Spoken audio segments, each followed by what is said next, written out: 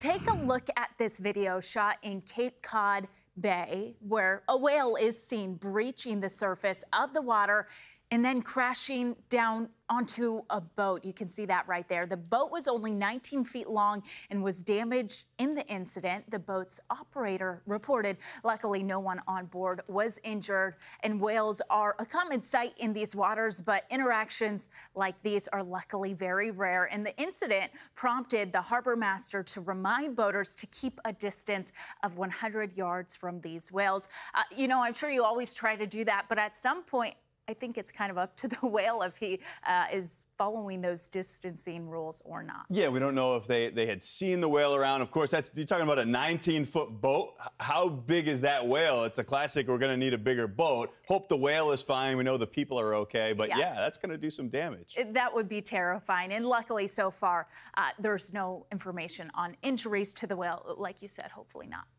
I'm Amy Freeze. Welcome to Fox Weather's YouTube page. We have more great videos on the way, so make sure to subscribe to stay updated on all things weather.